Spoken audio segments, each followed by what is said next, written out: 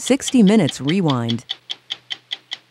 Parts of the country ravaged by Hurricane Florence will slowly dry out and begin to clean up in the coming weeks. Many communities in the Carolinas hadn't yet recovered from Hurricane Matthew two years ago.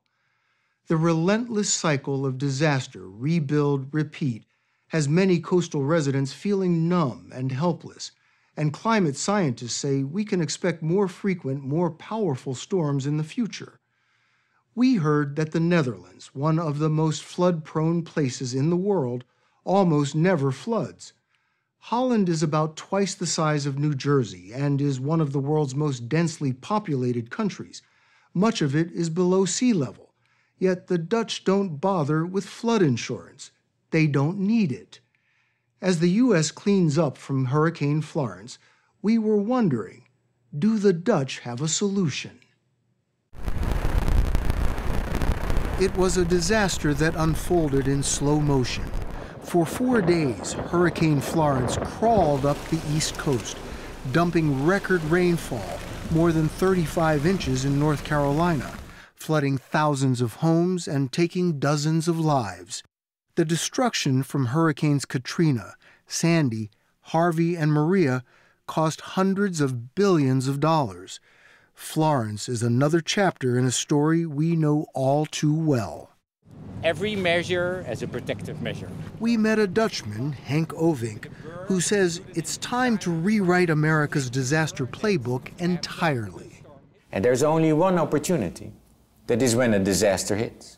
It's like an x-ray. It tells you where all your vulnerabilities are and gives you the opportunity to step up and say, we can do better. Ovink is the world's only water ambassador, a role given to him by the Dutch government. We need to take action now. He advises the UN, 35 individual countries, and a dozen U.S. cities. He travels the globe like a missionary, preaching the gospel of flood prevention. But this is your house. This is my house. One of his latest stops was Houston, still recovering from Hurricane Harvey. So, what's the biggest challenge in the United States? You're solution oriented. You have a collective. When things happen, you come together. You want to build back uh, and repair uh, and be ready uh, when disastrous things happen. But there's not so much a belief that you can actually prevent a disaster from happening. But how do you go about preventing a disaster like Katrina, Harvey, Sandy? It, it just doesn't seem possible. We can't prevent them from happening, but the impact that is caused by the disasters, we can decrease by preparing ourselves. I think the catastrophes we see in the world are all man-made. The storms are perhaps man-caused, and you can debate that. But the catastrophes, because of the storms, uh, those are man-made. It's a radical statement. We went with him to the Netherlands to learn what shaped his thinking. It's water.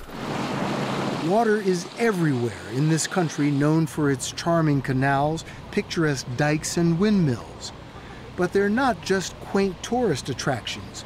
For centuries, the canals and dikes have held back water. The windmills pump it away. Ovink took us up in a helicopter so we could see it from above. From what I can see here, it looks as though the entire country is man engineered. Yes. We flew over Rotterdam, his hometown, so he could show us how the country has been engineered. How much of this city is below sea level? Um, almost everything. When was the last time this flooded? This doesn't flood. Because of the precautions yeah, you have taken. Yeah. The Dutch allocate more than a billion dollars a year to manage their flood infrastructure. Some of it is massive, like the Maeslantkering storm surge barrier. These are the gates. Right, they're big. They're enormous. It's like an Eiffel Tower, like the Paris Eiffel Tower on its sides, but then two. Each one the size Each of one. the Eiffel Tower. The gates guard one of the largest ports in the world and most of the Dutch population. They don't have hurricanes like we do, but ferocious storms with hurricane force winds can blow in from the North Sea and push in huge storm surges. When that happens, the two arms seal off the Rhine River and Rotterdam. The gates took six years to build and cost $500 million. That's a big investment for something that you've only had to use once or twice since it was built. $150 billion were lost in New Orleans. I don't think I need to say more. How many people were killed? Sandy, another storm, $70 billion. We don't have those damages. But they did in the past. Your Katrina moment was in 53. 1953. Yeah, but 53 was our real wake-up call. A storm blowing in from over the North Sea from the west. What happened? It actually swallowed the southwestern part of the Netherlands. Uh, the dams, dikes, and levees broke, and the water flowed in, taking away lives of almost 2,000 people. A lot of families were ripped apart. The Dutch still refer to it as the disaster because they haven't had one since, not a single death from flooding in 65 years. They've learned the lessons of the past well. Dutch engineers calculate how high and strong dikes and dams must be to withstand the most extreme weather, a 1 in 10,000 storm. Rotterdam is at the forefront of defensive design. This basketball court can hold 450,000 gallons of storm runoff. This sloping park atop a shopping center is a storm surge barrier. And this world-class rowing facility doubles as a flood reservoir. The Dutch pride themselves on blending form and function. So what is this place? These look like dunes. They are but dunes. I take it this is Man-made. the Netherlands, so it's not just dunes. No, these are man-made dunes. Henk Ovink took us to one of his favorite projects along the North Sea. The beach town of Katwijk was vulnerable until Dutch engineers created these natural-looking dunes. Many beaches in the U.S. have man-made dunes, but they are nothing like this. And these dunes protect the town Yes. from a sea surge or a big storm. Sea surge, storm, and also we incorporate sea level rise of the future. They also integrated urban planning to unclog Katwijk streets when tourists flock to the beach and to raise the height of the dunes to 25 feet above sea level, engineers built a parking garage. Under Yeah. the dunes. Under the dune. So under this whole stretch, is the, it looks like, I don't know, several football fields. Yes. Under all of this is Is a, a parking garage. garage. Almost 700 cars can park here. Could a structure like this have saved New Jersey beach communities from Sandy? Yes, it could. The story will continue after this.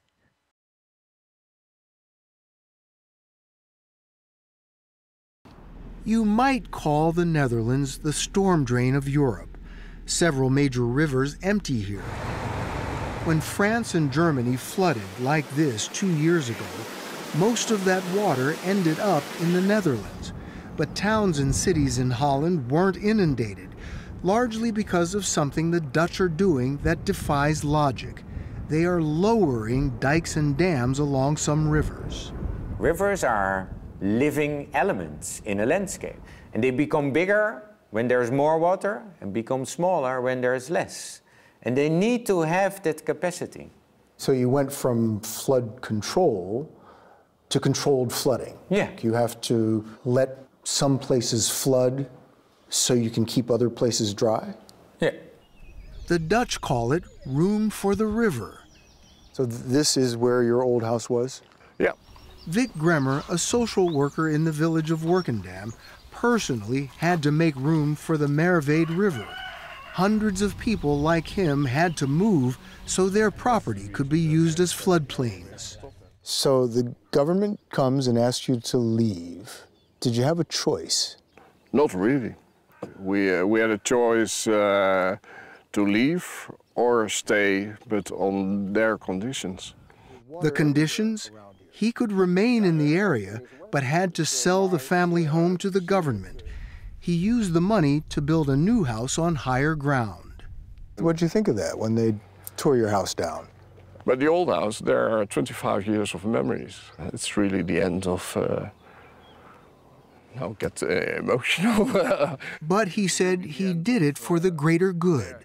Allowing the swollen river to pool in this new floodplain could save thousands of people from flooding downstream in Rotterdam. The idea of moving people out of the floodplains in the U.S., we'd be talking about millions of people. That would be a really tough sell. You pay for people to be in the most vulnerable places of your country.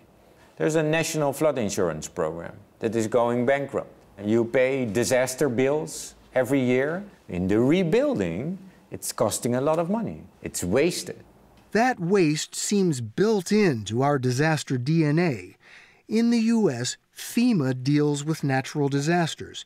Its primary mission is not to prevent, but to respond. FEMA helps disaster victims build back, usually the same structure in the same place. People's apartments were flooded, people's businesses, our critical infrastructure, all of our substations, so we had no power. Dawn Zimmer was mayor of Hoboken, New Jersey when Hurricane Sandy hit six years ago.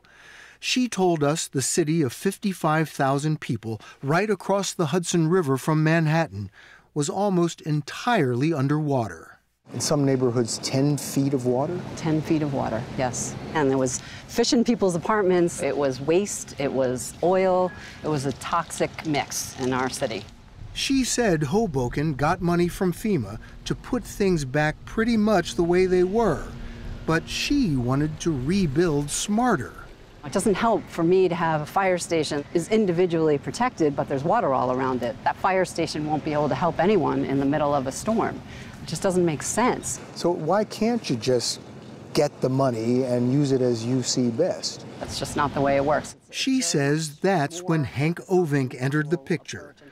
Shaun Donovan, then Secretary of Housing and Urban Development, tapped Ovink for President Obama's Hurricane Sandy Task Force the two came up with an idea for an international design competition to fix what Sandy had destroyed, following the Dutch philosophy rebuild differently for the future. Ovink helped convince the federal government to cough up almost a billion dollars for it. You know, in, in the U.S., that sounds kind of crazy. Yeah. A billion uh, dollars for a competition to rebuild. Something funding. like that had never been done before. Never been done in this capacity, so they also had to believe my blue eyes and my story and saying, okay, we believe this young man coming from the Netherlands. Let's work with him. A proposal that will protect Hoboken and its neighbors was awarded $230 million of the competition money a Dutch design team came up with the winning plans, with a Dutch twist. A storm surge defense disguised as a park with a boathouse, benches and outdoor seating as barriers to keep the Hudson from drowning the city again. Coming up with the plan was the easy part. Convincing residents to go along was much harder. There were people that were calling out, like, give back the money. So let me get this clear that even after the devastation of Sandy, people were not convinced that they needed flood protection? People are really concerned, for example, about their property values. What would the property values of Hoboken be if we're flooded on a regular basis and our entire city is destroyed? After consulting with the community, the plans were amended and most residents got on board. Hoboken plans to break ground next year it could be the first test for Ovink's vision in the U.S. It's going to move forward, and I'm very confident that when that next storm hits, because it's going to hit, it's not a matter of if, it's a matter of when. And we will be prepared, and we will be a model to show that this approach can work. It's a choice in the end.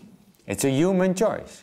We can think about that future as an opportunity, or close our eyes and do nothing and let it happen to us and see more death and despair, more assets and people lost.